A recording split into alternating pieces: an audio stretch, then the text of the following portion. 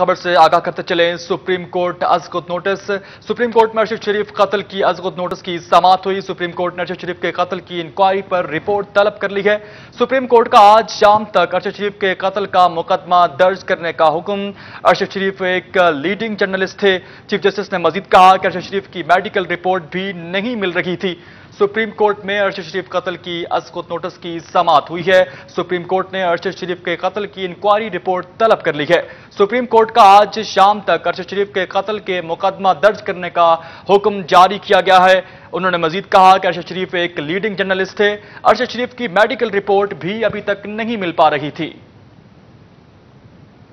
Supreme court अज खुद notice सामने आ गया है। सुप्रीम कोर्ट में अरशद शरीफ कत्ल की अज खुद नोटिस की समात हुई। सुप्रीम कोर्ट ने अरशद शरीफ के कत्ल की इंक्वायरी रिपोर्ट तलब कर ली है। सुप्रीम कोर्ट का आज शाम तक अरशद शरीफ के कत्ल का मुकदमा दर्ज करने का हुक्म जारी कर दिया गया है। चीफ जस्टिस ने मजीद कहा कि अरशद शरीफ एक लीडिंग जर्नलिस्ट थे। अरशद शरीफ की मेडिकल रिपोर्ट भी नहीं मिल पा रही थी। आपको अहम तरीन खबर से आगाह करते चले। सुप्रीम कोर्ट में अरशद शरीफ कत्ल की अज खुद नोटिस की समात हुई है। सुप्रीम कोर्ट ने अरशद शरीफ के कत्ल की इंक्वायरी रिपोर्ट तलब कर ली है।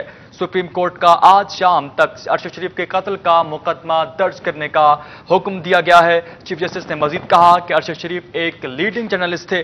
अर्शद शरीफ की मेडिकल रिपोर्ट भी नहीं मिल पा रही थी।